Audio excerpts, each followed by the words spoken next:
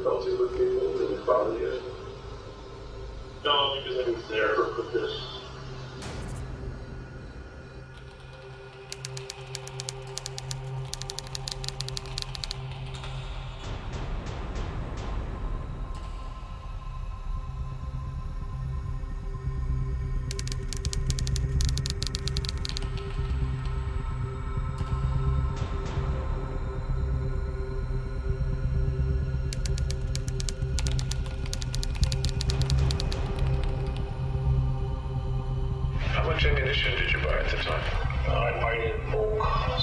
Thousands and thousands Most of local are mostly online? online. Was that ever a problem ordering bulk ammunition? No.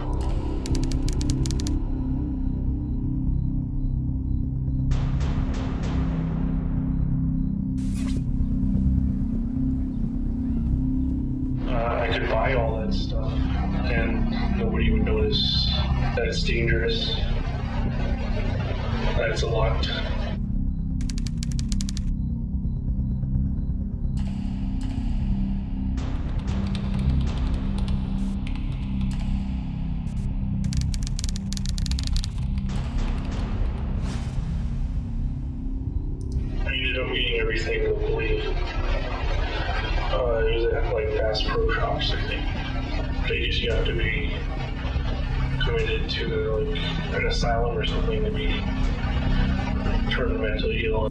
Get more and more weapons. The weapons kind of fulfilling the mission on their own. Depressed situation where I transfer my feelings from suicidal thoughts and make them go away by having homicidal thoughts.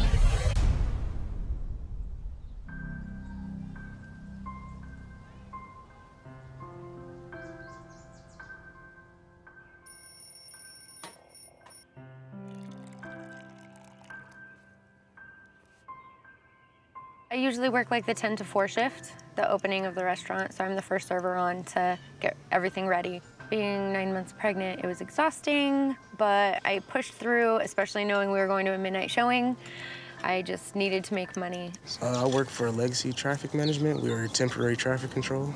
I was working that day. I went to get pizza for everybody for helping us move into the house. AJ went to my brother's to mow his yard to make money so he could go to the movie. I've been a police officer for over 32 years. I come home. He said, hey, thanks for mowing the yard. She says, well, you can thank your nephew AJ. He came over and mowed him. I said, well, how much did you pay him? She says, $40. I said, 40 bucks? I'll mow it for $40, for gosh sakes. That night at Hula, it was the first time we were gonna dance Fire Poi. I'd messaged him like, come over and watch this, this is so cool. And He said he was gonna go watch Hula before they went to the movie. So I said, all right, you know, I love you. And then he left.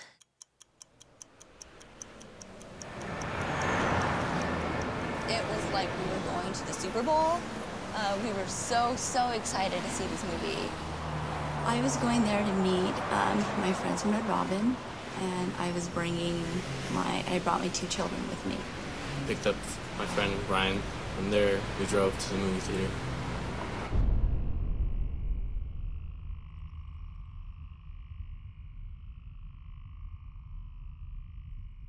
Uh, well, it's somewhat dangerous because I put uh, tinted windows, like uh, film, tinted window film on my windows so that I could gear up inside the car. But it doesn't let much light in, so it's hard to drive in the dark.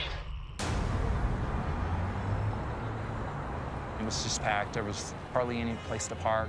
Myself and my children, we arrived fairly early. My mom actually dropped my sister and I off. Our friends had already told us, like, we're already in line. There's already a line forming. So, like, make your way over here as soon as you can. And you can tell a lot of them were, like, Comic Con, like, regulars. So it was really exciting. They parked in the back, right across from the Theater 9 emergency exit. Then I went to put the stuff on and get all the other weapons ready. we bought the big popcorn, and then we got a soda. We always got cherry Since they coke. started. We had all of our snacks. We were, I guess you could say, a prepared. vegan at the time, but I decided to have some fun, so I had some nachos. We got a hot dog, we some picked the popcorn. movie tickets from the dashboard of Oh, the people everyone that was super them. pumped, clapping, like super ready. Screaming, throwing popcorn. There was a lot of cheering. There was a lot of excitement. The house lights go down and it's starting to get dark.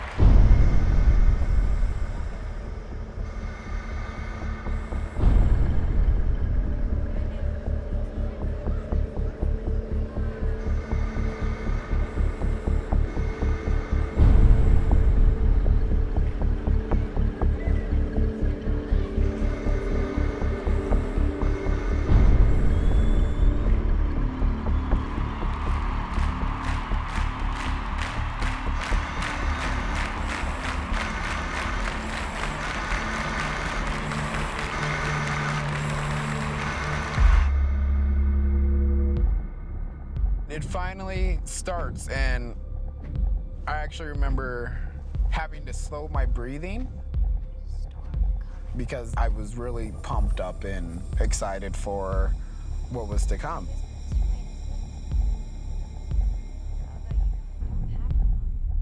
I was standing there in the outside and I could see in through the crack. I'm really gonna do this. It's really gonna happen. I heard the hissing. burning. My chest and my throat just completely closed up. And like you couldn't even swallow. There was smoke everywhere. There was tear gas. It was autopilot.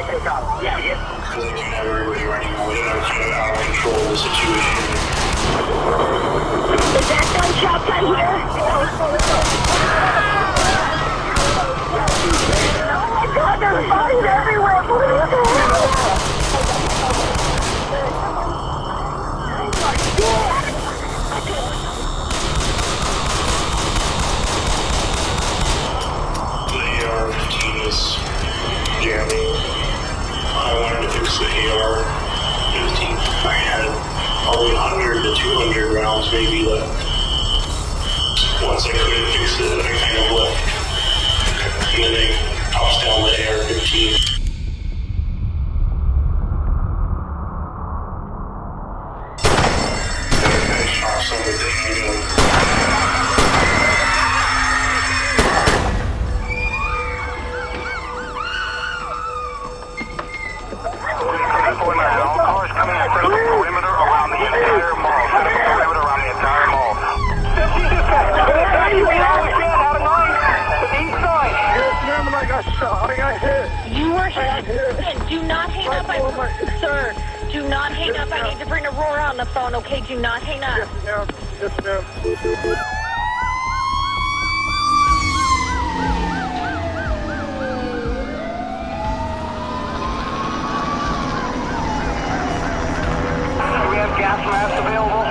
There were ambulances from different counties. There's police officers. Get us some damn gas masks for Theater 9. We can't get in it. 16, I got seven down in Theater 9.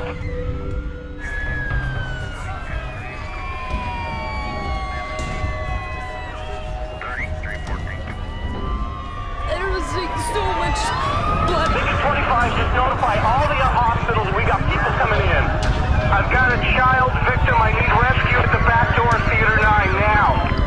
Back door at Theater 9 on the situation if you're just now joining us. At least 14 dead, 50 injured. Uh, a lot of those injuries are severe.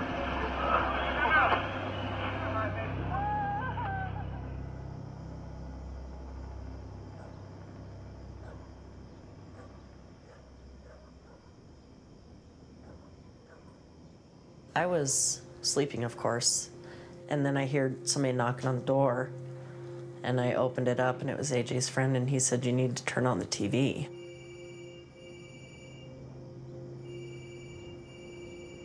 I was sleeping. Uh, phone rang about 2.30, and it's Teresa. She's screaming on the phone. She said, I don't know where he is. I said, who? What are you talking about? She said, AJ. I said, he's at the movies. She says, no, no, no, I don't know where he is. I don't know where he is. She says, I, I can't, I don't know where he is. I can't get a hold of him. So what are you talking about? She said, turn the TV on. We just pulled up straight to the emergency doors. They saw my face all bloody and me being pregnant, and Bryson saying there was a shooting at the theater. We need help. She's pregnant.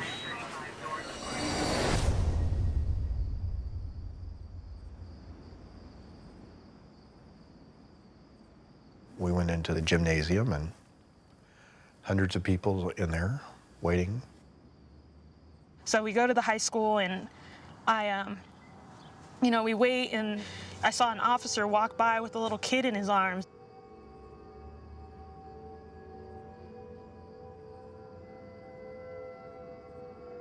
La Samoa, which is AJ's girlfriend, she, uh, she still had AJ's blood on her when we saw her.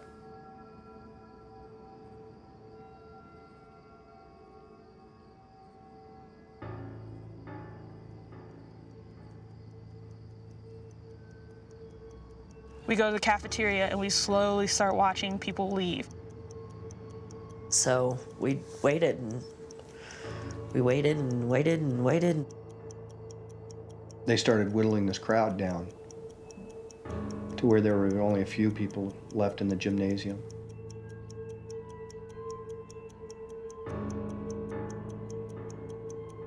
And so we stayed there the whole 18 hours. And my mom and dad, my brothers and sisters, and my sister-in-laws, they all came down there. 18 and a half hours later is when they finally told us.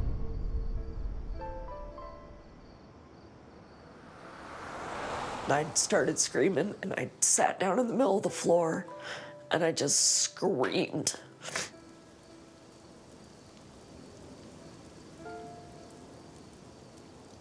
She collapsed at that point. I had to carry her pretty much back to back, just take care of her. It was heartbreaking. Have you ever heard a woman cry because the loss of a child? It's horrible. It's awful. When it's your sister.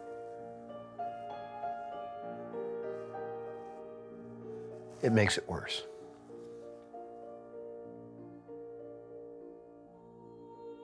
Nobody needs to bury a child in this way. The horrific uh, and devastating effects on our family and continue to be and will always be part of our family.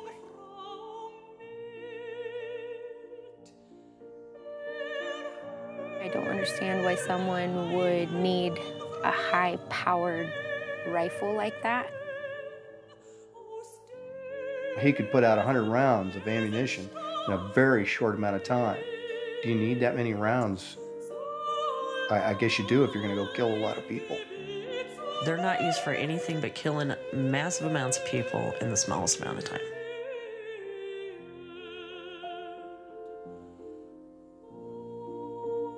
If they had something in place where a red flag would go off when you buy X amount of bullets or X amount of guns, then maybe we could have saved more people. Nobody should go through this. Nobody should go through this. I wouldn't wish this on anyone. And unfortunately, it's becoming all too common. In the wake of the Colorado shootings, Aurora residents came together to pray, to weep, to remember, and then they went and bought guns. Gun sales rise after mass shootings. It happens after the shooting rampage in Aurora, Colorado. Gun sales are rising across the country, and so is the stock price of America's biggest gun makers. The numbers are driven by a basic emotion fear. Fear sells. The fear that's sold in our communities. I use firearms in my daily job, and I can tell you this these guys are making a lot of money every time one of these incidents happens. And to preserve all of our freedoms, we must get larger, we must get stronger, greater in financial resources. These individuals from the NRA are very good about giving away money to these individuals if they'll fight their fight for them. The proposed assault weapons ban is a singularly ineffective piece of legislation. The issue of assault weapons is a phony. It's purely emotional and designed to do nothing but frighten the American people. There was a big hubbub about assault style rifles, and, and actually, what it was was just the cosmetic look of those guns. You don't hunt with a an AK-47. You don't go hunting with uh, an AR-15 unless you're hunting humans.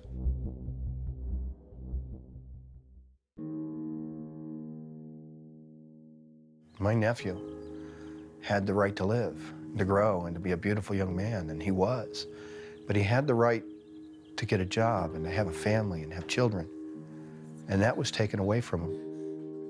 I love you. She went to a theater to see a movie and was killed. People go to their churches and they get slaughtered. That's not what we should be standing for. Columbine didn't need to happen. Virginia Tech didn't need to happen. Aurora didn't need to happen. Colorado started the universal background checks. Almost 700 people that have been denied access to firearms. Think of how many individuals that we have prevented from doing something stupid. This legislation is saving lives. If anybody can be prevented from getting that phone call that I got from my sister, it's worth it.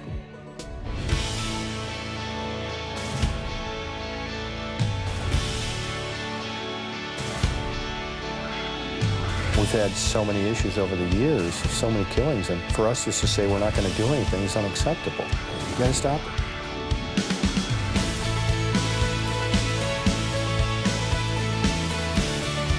We can't do this alone. We all have to work towards this, this common goal of stopping the madness. Today is the day, now is the time.